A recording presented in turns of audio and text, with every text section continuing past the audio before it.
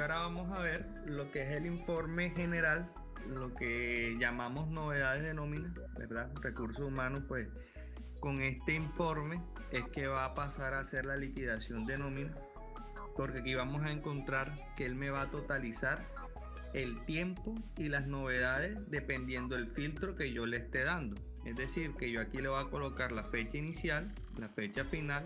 Digamos que si voy a liquidar el mes de octubre y, pagan mensual, yo coloco desde el 1 de, octubre al 31. Le doy la búsqueda y entonces él me va a decir el tiempo trabajado de todo ese grupo.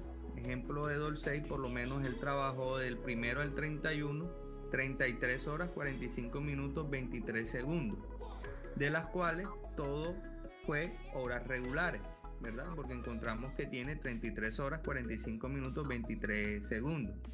En el caso que él hubiese generado algunas horas extra, me hubiese dicho que de las 33 horas, tantas horas son regulares, tantas horas son horas extras y tantas horas son horas extras nocturnas. ¿ya? También nos va a informar cuántos días trabajó. Es decir, que esas 33 horas que él hizo las trabajó en 5 días. Y podemos tener en ese informe el comparativo de cuál era su, de su tiempo, o sea, su horario y ahí encontramos que él tenía que haber trabajado 199 horas, a lo que equivale 21 días. ¿ya? Entonces ahí vamos a ver la comparación de 21 días que tenía que trabajar, solamente trabajó 5, ¿verdad? Y también podemos habilitar para que nos muestre eh, el horario que debía cumplir. Eh, nos va a mostrar también las novedades que la tenemos acá. Eh, vamos a tener el total de las novedades. Entonces me va a decir que llegó tarde seis veces, que se ausentó una vez.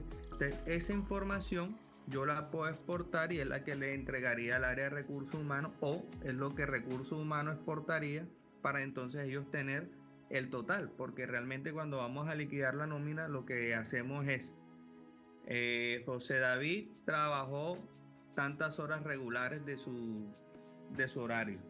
Eh, hizo tantas horas extras y eso lo vamos eh, digitando en el, en el liquidador de nómina y él allá nos va proyectando la nómina, ¿verdad? Entonces digamos que esta información o este informe es el que nosotros vamos a implementar para que el área de recursos humanos haga la liquidación de nómina.